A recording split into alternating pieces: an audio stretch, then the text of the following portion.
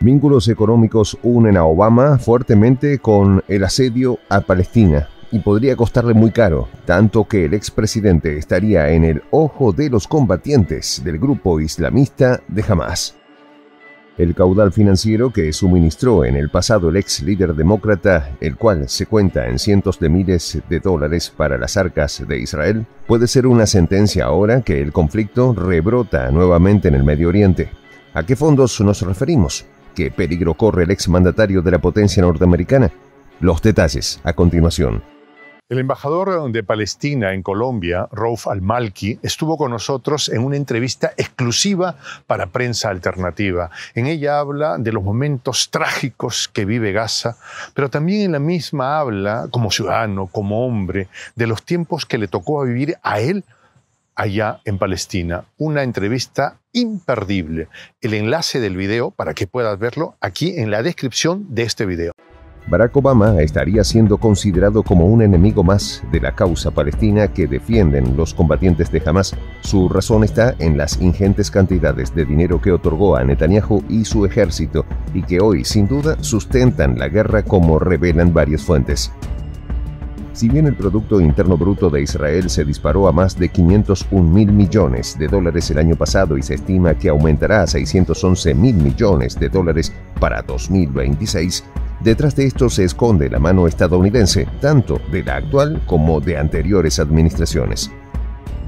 La nación hebrea comandada por Benjamín Netanyahu se promociona así como la decimonovena economía más grande de todo el panorama mundial, eso sí, con un fuerte financiamiento por parte de la Casa Blanca, donde resalta especialmente el expresidente Obama.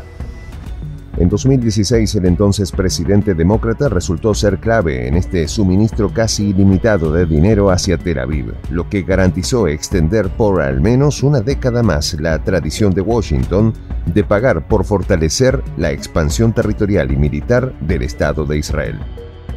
Así como un punto clave en este esfuerzo del presidente Barack Obama, destacan diversos especialistas que en ese mismo año firmó un acuerdo que establecía el envío de un paquete de 38 mil millones de dólares solo en ayuda militar.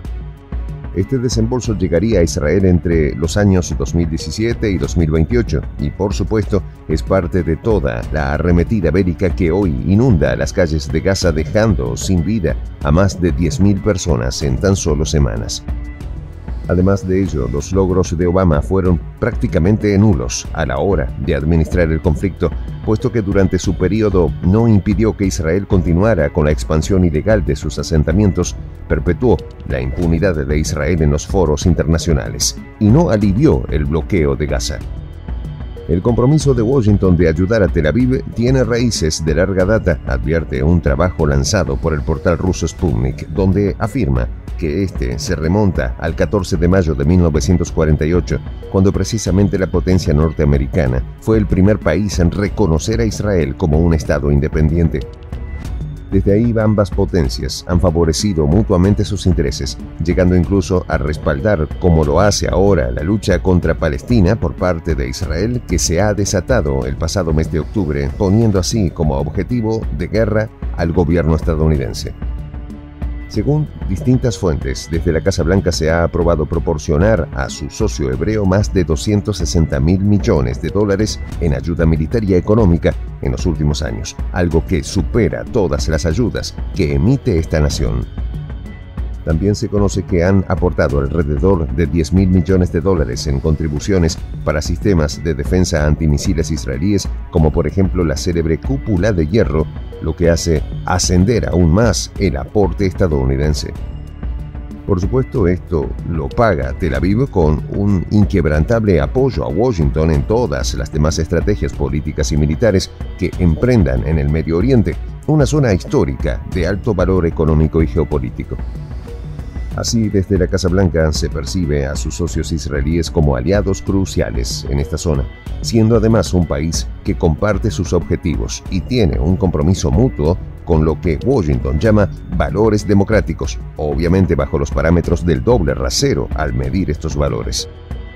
Incluso el compromiso es tal que se ha sabido este mes de noviembre que la ayuda a Ucrania, único país en recibir la cantidad récord de 100 mil millones en ayuda en poco más de un año por parte de Estados Unidos, dejará de percibir tales financiamientos para ser suministrados a Tel Aviv. Así como lo oyes, Washington estaría dando el paso para reducir en más de 30% el suministro de municiones vitales a Ucrania para trasladar la ayuda en favor de Israel en su incursión en Gaza. En concreto, fueron reducidos en más de un tercio las entregas de proyectiles de artillería de 155 milímetros a la nación de Europa del Este, producto del estallido de la guerra entre Hamas e Israel, beneficiando por encima de Kiev a Tel Aviv, evidentemente. Esto lo reportó el canal de televisión ABC News, citando a un funcionario ucraniano y agregando además que este funcionario calificó de vitales las entregas de estos proyectiles desde Washington porque representan alrededor del 60 a 70% del suministro total. Aun cuando se le está generando un gran problema tanto de fondos como político a Estados Unidos, la lealtad a cumplir con Israel está siendo mucho más importante, tanto que actúan casi directamente como un parte más del conflicto, generando la ira de Hamas. Así, gracias a Estados Unidos y los favores conseguidos por sus presidentes, entre ellos Barack Obama, ahora el desarrollo nacional de Israel despunta como uno de los principales en toda la región. El ingreso per cápita de la nación hebrea asciende ahora a 58.273 dólares, el segundo más alto de Oriente Medio, señalan fuentes especializadas que lo ponen solo por detrás de Qatar, que goza de al menos unos 83.890 dólares. Estos números están de acuerdo con lo que reposa en la base de datos Perspectivas de la Economía Mundial del Fondo Monetario Internacional, un órgano que además es bastante afín a los Estados Unidos.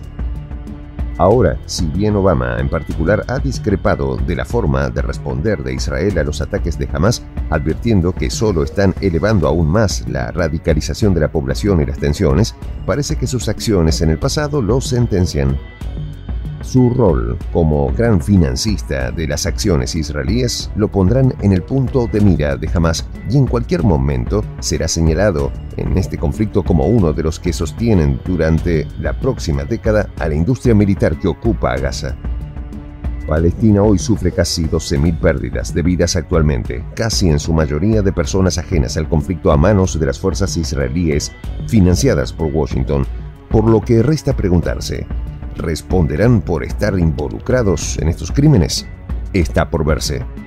Soy el J, Juan José del Castillo, director del canal Prensa Alternativa. Si quieres ser parte de la comunidad de la Patria Grande, suscríbete a nuestro canal. Si es que quieres que te lleguen las notificaciones cada vez que subimos un video, activa la campanita. Si quieres apoyar a nuestro canal económicamente, puedes hacerlo a través de PayPal. El enlace está en la descripción del video. A nombre del equipo de prensa alternativa, me despido con esta expresión en el quechua milenario, Tupananchis Kama, cuya traducción es hasta volvernos a encontrar.